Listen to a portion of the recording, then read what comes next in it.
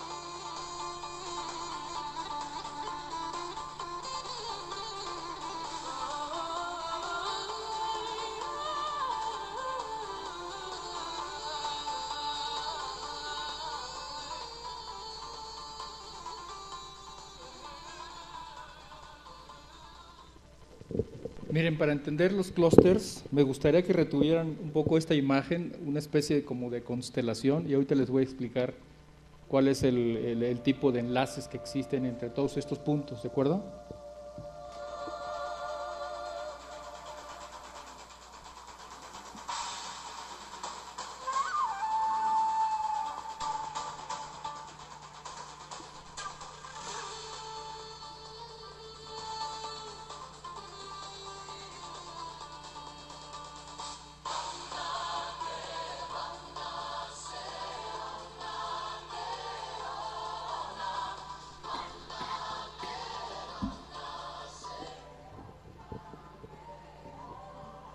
Esto, que están viendo ahorita son jugadores fundamentales en el concepto de clusters y ahorita lo vamos a, lo vamos a visualizar.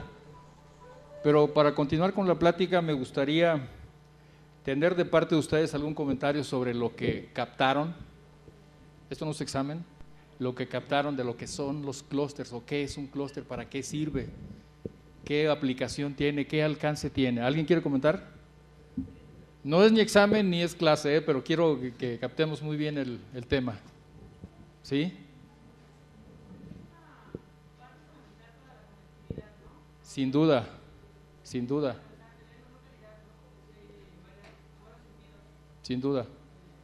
Es una herramienta poderosísima que no es nada nuevo, esto tiene desde la década de los 80s, 85, 90 este, pero en México desafortunadamente como siempre llegamos tarde a muchas cosas apenas está teniendo un auge fundamental, pero es, es una herramienta, como digo, poderosísima de lo que es una estrategia de desarrollo de la economía de las regiones. Eso es correcto. ¿Alguien más captó alguna idea? ¿Qué vieron en el video este?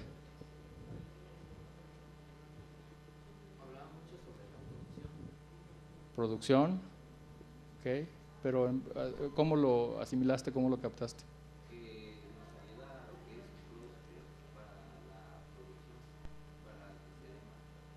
Impulsa definitivamente la producción en las, empresas que participan. Eso es correcto también. Una última intervención, por favor.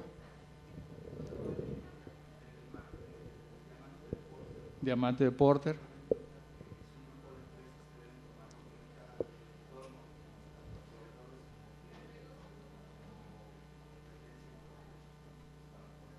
Sin duda, eso es parte del diamante, es, es parte del análisis que hacemos cuando estamos desarrollando un proyecto de clúster. Bueno, miren, para no eh, meternos en complicaciones, un clúster no es más que un grupo de empresas de una cierta actividad económica que se ubican en una región determinada, pero que no solamente están ubicados, sino están interactuando a través de lazos o a través de vínculos de negocios. Déjenme explicarles. Todo el mundo conoce, por ejemplo, Cancún. Bueno, Cancún es un clúster de turismo. ¿Por qué es un clúster de turismo? Porque hay empresas ubicadas en esa región que se dedican a qué? ¿A cuál es la actividad económica? El turismo, ¿de acuerdo?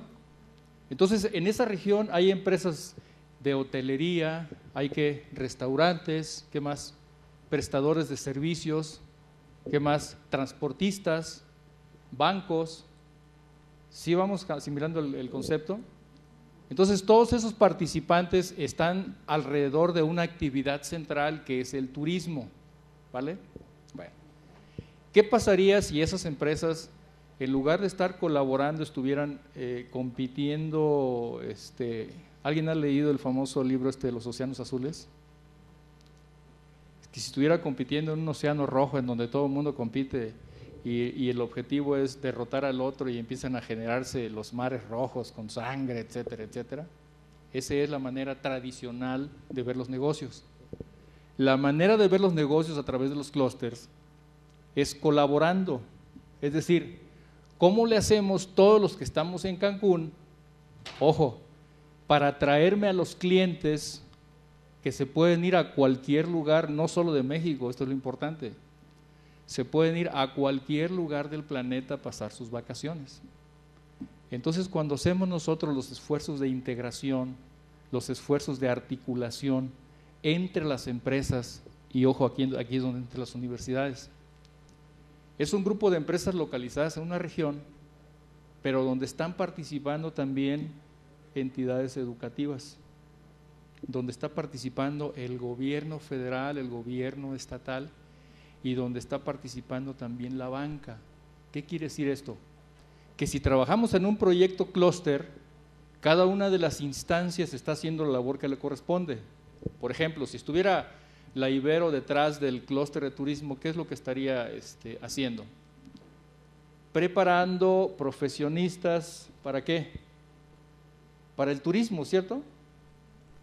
Entonces está alineando sus planes, sus programas, sus, sus licenciaturas, sus diplomados, sus maestrías a responder a necesidades de ese grupo empresarial llamado clúster. ¿Sí lo vamos agarrando? Bueno. ¿Qué pasaría, por ejemplo, eh, si el gobierno federal, el gobierno estatal, el gobierno local diseñara políticas, programas, planes, apoyos para, fortalecer a todas las empresas que estaban participando en este clúster? ¿qué, ¿Qué, pasaría con ese grupo empresarial? Pues sería ser más competitivo, ¿no? A través de financiamientos, a través de apoyos, a través de programas, a través de planes. Bueno. Todo este contexto, todo esto que hay alrededor, que lo quisimos plasmar en, esta, en estas láminas que acaban de ver, ese es el concepto clúster. ¿Se acuerdan que había como una, una imagen de una constelación que les dije, por favor, conserven eso? Eso es como, como pudiéramos empezar a visualizar lo que es un clúster. Un clúster es entonces, todos esos puntitos que veían ahí era alguien, ¿no? A lo mejor era una empresa que producía, ¿no? a lo mejor era una empresa que transportaba, a lo mejor era una empresa que era un laboratorio, a lo mejor una empresa que comercializaba. ¿Sí explico? Pero cada una de esas empresas está haciendo su labor a través de la actividad fundamental. El clúster que vieron ahí era un clúster de la vida real, que es un clúster del Estado de México, que es de la trucha. Ya ven que en la parte esta fría del Estado de México se da mucho la trucha, ¿no? Y es más, no es muy lejos de aquí. Bueno, cuando trabajamos en el proyecto Cluster, entonces lo que hacemos es elevar la competitividad de todas las empresas a través de estar canalizando los planes, los programas, los financiamientos, los planes educativos de las instituciones eh, eh, del sector académico hacia esa actividad central. ¿De acuerdo? ¿Vieron un ejemplo en donde había una especie como de esferitas que después se conectaban? ¿La vieron también? Y no sé si notaron que había una lucecita que iba caminando por ahí. Bueno, esos, esos contactos que se ven ahí entre cada una de las esferitas, esos contactos pueden ser transferencia de conocimiento, puede ser transferencia de negocios, puede ser yo te vendo y tú me compras, pero yo te vendo lo que tú necesitas, en la calidad que tú necesitas, en el tiempo que tú lo necesitas. Esa lucecita significa entonces que podemos estar comunicándonos Oye, hay una nueva oportunidad de negocio, vamos por ella. Oye, hay una nueva tecnología para lo que estamos haciendo nosotros. Oye, hay un nuevo desarrollo, eh, desarrollo tecnológico, vamos por él. Oye, hay una nueva carrera, vamos por ella. Oye, necesitamos que las universidades nos estén entregando muchachos con estas cualidades, pues vamos y nos, vinculamos con esa lucecita a través de, de esos canales, con las universidades y empezamos a desarrollar programas, programas educativos que nos den respuesta a las necesidades que tenemos, ¿de acuerdo? Ese es así rapidísimo un clúster. El, tema, por ejemplo, hablabas de, 80 diplomados que se han impartido, hasta ahorita hemos capacitado yo creo que más de mil profesionistas o especialistas en el desarrollo de clústeres a través de diplomados. El punto es que los clústeres no son tan fáciles de entender, ahorita lo dijimos en cinco minutos, pero es mucho más complicado que eso, sobre todo cuando hay que desarrollarlos. ¿Qué hicimos con el Estado de México? Y es lo que les quiero mostrar en los cinco minutos que, nos restan.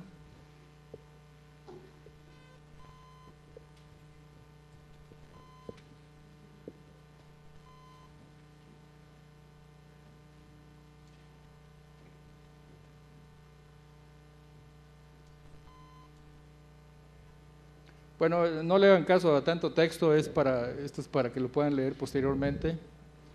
Pero en el proyecto, en el proyecto de desarrollo de, de clústeres para el Estado de México, hay un tema muy importante que es desarrollar, y, por favor este, traten de entender muy bien este tema, desarrollar el ambiente de negocios en esa región para que tú cuando trabajes con un concepto de clústeres, es como tener el, terreno abonado. Si tú vas a sembrar una plantita y tienes el terreno abonado, esa plantita va a florecer.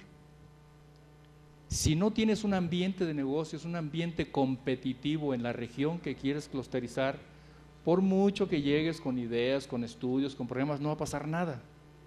Entonces la manera de hacerlo es desarrollar ese ambiente competitivo. Y aquí nosotros hicimos todo un estudio que nos tomó muchos meses de trabajo. Y en un primer capítulo hicimos el análisis de las condiciones socioeconómicas de la, de la entidad y analizamos sus ventajas comparativas y competitivas. Comparativas. ¿Para qué es bueno el Estado de México? Por ejemplo, tiene microclimas, tiene ambientes de negocio, tiene cercanía con el mercado más grande de Latinoamérica prácticamente. Entonces, todas esas ventajas comparativas se usan a la hora de diseñar las estrategias de clúster. Y las ventajas competitivas son, son aquellas que se desarrollan especialmente para elevar la competitividad de las empresas. Por ejemplo, ahorita ustedes veían un tema muy interesante. Ventajas competitivas a través de la tecnología es una ventaja competitiva que puede durarte mucho tiempo. Entonces se trata, de, aprovechar las ventajas comparativas que tú tienes, pero desarrollar infraestructura, investigación, puentes, todo ese tipo de cosas que te dan ventajas competitivas que, que, se suman a tus ventajas comparativas para que toda la región sea competitiva a través del desarrollo de clústeres. En el capítulo 2 lo que hacemos es estudiar la competitividad, analizando primero a nivel internacional, es decir, ¿Cómo está México a nivel internacional? Y la mala noticia es que no estamos muy bien. Más bien yo diría que estamos muy mal. Estamos por ahí de 133 países, eh, si no mal recuerdo, en el lugar número 65, una cosa así. Bueno, ya nos comparamos a nivel internacional. Ahora, el Estado de México, ¿cómo se compara a nivel nacional? Entonces, hacemos todo ese análisis para ver cuáles son realmente las posibilidades de clusterizar la economía de un Estado. En un capítulo 3 hacemos estudios de caracterización productiva y social de los sectores motores, es decir, a ver, en el Estado de México, en el Estado X, ¿cuáles son aquellos sectores en donde las posibilidades de clusterizar son mucho mayores que en sectores prácticamente débiles? Entonces hacemos todo ese barrido e identificamos los sectores que nosotros denominamos sectores motores. ¿Cuáles son los motores? Aquellos sectores que tienen mucho más empuje de la economía. Luego identificamos aquellos sectores que le llamamos transversales, como las tecnologías de información. ¿Qué quiere decir transversales? Aquellos sectores que tienen impacto en muchos sectores y no solamente en uno. Por ejemplo, las tecnologías de información, ¿en dónde no se usa, no? Si hablamos, del, si hablamos por ejemplo, de del sector de la construcción, usas tecnologías de información. Si hablas del sector de alimentos, usas tecnologías de información. Entonces, identificamos todo ese entramado y eso es parte del estudio que se hace en el desarrollo de, los clústeres. Ya en una, en una etapa 4 analizamos las oportunidades de desarrollo en función de las megatendencias, es decir, a ver, yo tengo estas ventajas comparativas, esas ventajas competitivas, tengo estos sectores motores, pero ¿para dónde van las tendencias? ¿Qué está pasando con los consumidores? ¿Qué están comprando? ¿Qué están dejando de comprar? ¿De acuerdo? Entonces, cuando identificas eso, todos los esfuerzos de clusterizar los montas en una ola que va en ascenso y no en una ola que va en descenso. Por ejemplo, en México antes era muy competitivo en toda la parte textil confección. Hoy por hoy México está bajando su competitividad, pues prácticamente está desapareciendo el sector. Entonces no le apuestas a sectores que van en decadencia y te montas en aquellos sectores que van a la alza como tecnologías de información y demás, biotecnología, todas estas cosas que son muy interesantes de clusterizar, ahí es donde deberíamos montarnos. Me voy a pasar para no hacer muy largo el asunto, pero por ejemplo, todo lo que es el desarrollo económico y social, vean cómo en escalerita se va logrando a través del paso número uno que es hoy por hoy la innovación. Y el tema de innovación merece un diplomado, una maestría. O sea, innovar, eh, todo el mundo dice, bueno, sí hay que innovar y tenemos que ser innovadores, pero a la hora de hacerlo es donde realmente no tenemos, este, eh, digamos, eh, las facilidades que uno quisiera.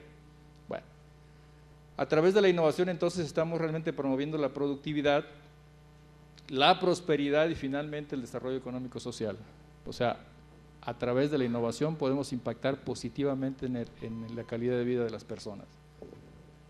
Luego esto que es muy interesante, miren, en, las barras que están aquí a la izquierda, lo que hicimos fue analizar la posición competitiva del Estado de México en 2007 y luego en 2010. Vean, bajó dos lugares. Hicimos aquí el desempeño económico de 2007 a 2010, bajó. La eficiencia gubernamental subió. La infraestructura subió considerablemente. ¿Qué quiere decir? Ah, bueno, también la eficiencia de negocios subió considerablemente. ¿Qué quiere decir? Que toda la economía tiene impactos de diferentes fuentes. Si quisiéramos abordar cada una de las fuentes nos volvemos locos y no es la manera de hacerlo. ¿Cuál es la mejor manera? Crear el ambiente de negocios que les acabo de comentar. ¿De acuerdo? Bueno, aquí hay, aquí hay nada más para cerrar. Este, aquí se me fue uno de un error de dedo, por supuesto. Este, para que no digan que, que no sé que no se mecanografía, ¿no? bueno, yo creo que con eso este, lo, vamos a, lo vamos a cerrar. El mensaje que queremos darles es que existe una, una estrategia mundial, porque esto ni siquiera es ni latinoamericano ni americano, es mundial, en donde los países más competitivos, los verdaderamente competitivos, están trabajando sus economías, clusterizando las regiones, ¿de acuerdo? y eso es lo que estamos haciendo en las diferentes regiones del país.